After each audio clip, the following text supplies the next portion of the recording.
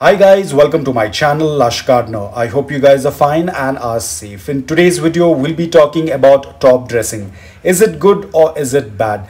Now, there is nothing as wrong or right. There is nothing what you're doing is wrong or there is nothing what I'm doing is right. It completely depends upon an individual Apart from it being an individual choice to use top dressing, there are a lot of factors that depend whether you should use it or not. And that's what we are going to discuss in this video. Now, the most important thing you might have seen or you might have come across a lot of succulent pictures on Instagram, on Facebook, on a lot of social uh, websites. And you have seen a lot of people tend to use top dressing. So this is where you need to understand the person who has posted this picture with top dressing, what kind of environment does that person belong to? It's not necessary that you also have the same kind of environment or the same type of climate. Like what i have seen people in korea in china have been using uh, top dressing for a couple of years. Now apart from climate there is another major thing. The reason why top dressing is used so that the soil does not dry out faster. Because a lot of these people from Korea from China they tend to use a mix that is very soilless. Now due to this what happens is because there is no soil uh, the moisture in the potting mix tends to dry out much faster. And that is one of the reason why they tend to use uh, the top dressings so that the soil does not dry out faster because as you know that our succulents also tend to need a little bit of water before it starts to dry out so that they can have a quick drink. Now I personally do not use uh, top dressing. Now again guys this is my take on uh, adding top dressing. Uh, it's completely your choice. If you want to add you can. If you do not want to add it's your choice.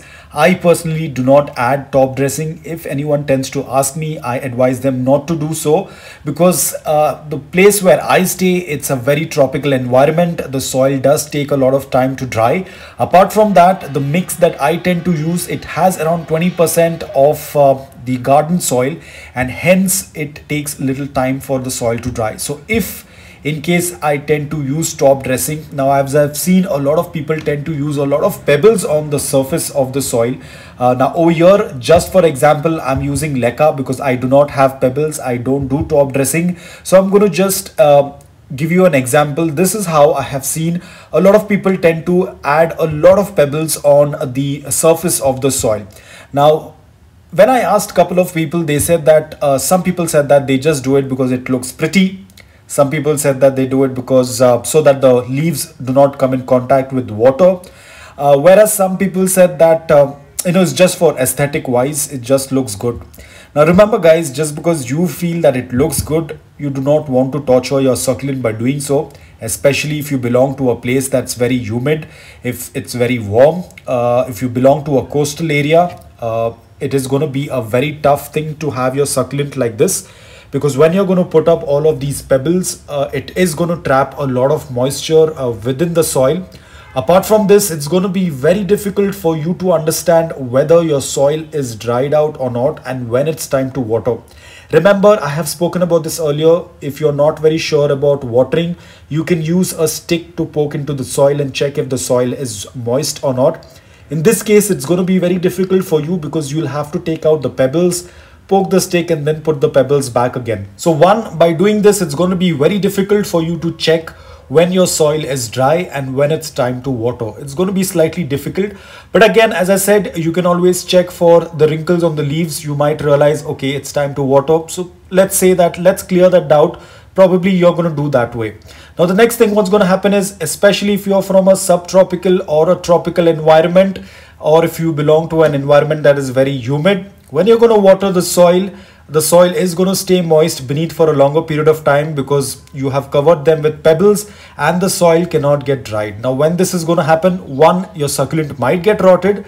Another issue is even if your succulent does not tend to get rotted, the environment that you have created within the pot is going to stay damp and moist. And you know what happens when the soil is damp and moist?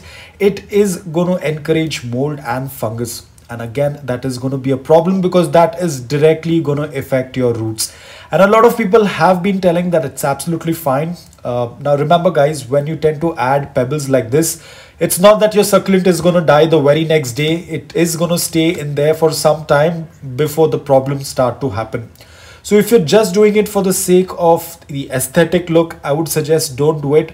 Because remember guys succulents belong to an environment wherein they are in open uh, there is no top dressing in their natural habitat. They hardly have any soil. There is a good amount of airflow. That is the most important thing what a succulent needs and that is air circulation.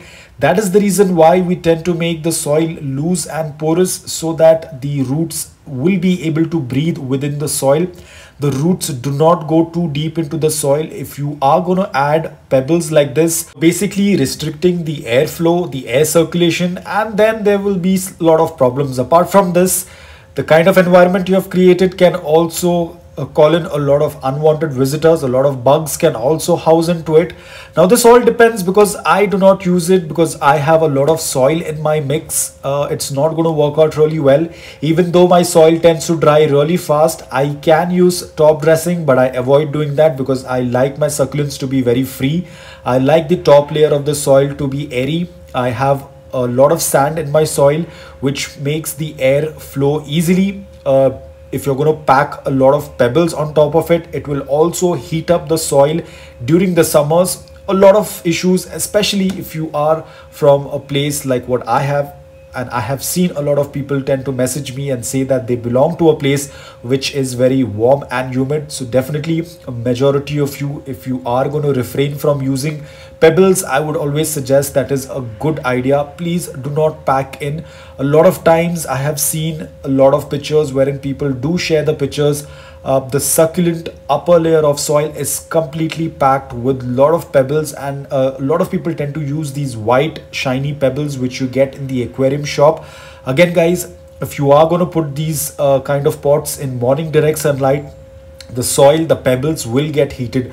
So please don't do things which are not needed. Let your succulent grow. Especially this is very common with a lot of beginners what i have seen. Uh, i tend to use soil in my uh, mix. Even though it's 20% i do not prefer to use any kind of top dressing.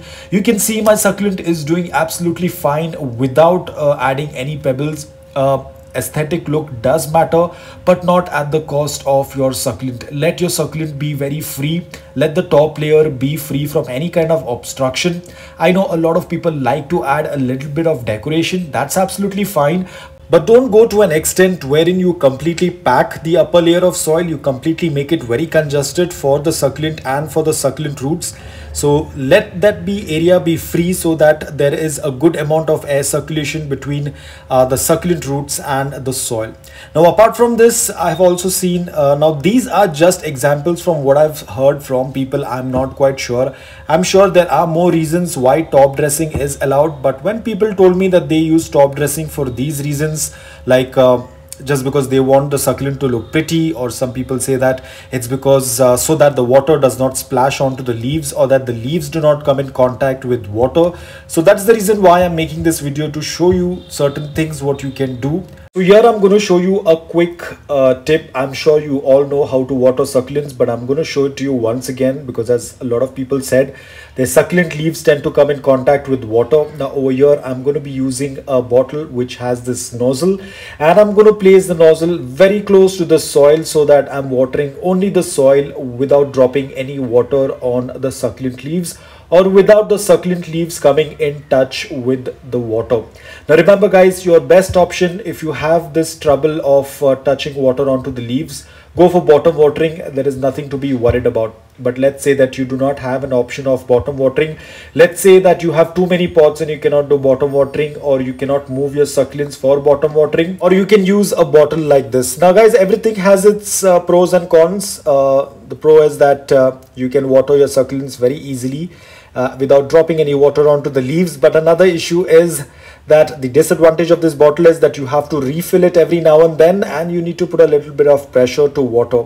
So that is the disadvantage but it is not going to splash any water onto the leaves. It is not going to wet your leaves. And you need to do the right technique. Keep the nozzle very close to the soil and water. As you can see my leaves are not coming in contact with the water and the soil. Over the period of time these lower leaves will tend to fall. You can see a lot of dry leaves they will fall off so there is nothing to be worried whether you drop water onto the leaves on the lower leaves whether the dirt comes in contact with the lower leaves. Over the period of time these leaves will fall off they will get dried. That is how the succulent tends to grow. Now apart from this you can also see my other succulent uh, I'm going to show it to you another way what you can do. If you feel that the nozzle is taking a lot of time you can just water it from the edges like this very very carefully ensure that you do not water any you do not drop any water on the leaves. You can even go for this option. And as you can see my soil is well draining. The water has started to pass through the drain hole which means that I have done a complete watering. Guys please do not just wet the upper layer of the soil and leave the lower layer of the soil uh, without watering i have seen a lot of people do that. They say that they are scared that they're going to overwater your succulent. Guys this is called as half watering. If you're just wetting the upper layer of soil the upper layer of soil will dry out really quick and you're not hydrating the roots. This again can become a problem. So whenever you're watering if you are scared of overwatering wait for some time when you're done with your wait when you feel you're confident that your soil is completely bone dry then do a complete watering until the water starts passing to the drain hole. Do not do half watering. That is not a very good practice for your succulents. Your roots will get exhausted. They will dry out without much water. And you can also see the pot on my left hand side. You can see the stem is so much elevated above the soil uh, there is no chance that uh, the leaves will come in contact with the soil or with water. It's right at an uh, height so definitely if you're going to water this if you're going to use pebbles for such a succulent it's unnecessary waste of pebbles and it's making things complicated for your succulents. So guys i hope that this video was helpful to you. Once again as i say it's completely your choice. You need to check what kind of environment what kind of climate you have what is the soil mix what is the potting container you're using. Because if you're going to use top dressing for a pot that is a ceramic pot or a plastic pot. Ceramic and plastic pot is already going to retain moisture adding the upper layer of soil with uh, pebbles is going to furthermore retain more moisture. So it completely depends upon you. If it works out well for you well and good. If it doesn't then take out all of the top dressing. But obviously you can always have a very minimum uh, decor on your succulents. Like as you can see over here I've used a pebble over here. You can do something like this. Rather than you know completely covering the surface with soil you can add probably one or two of a decoration or a miniature toy. That will work out really well.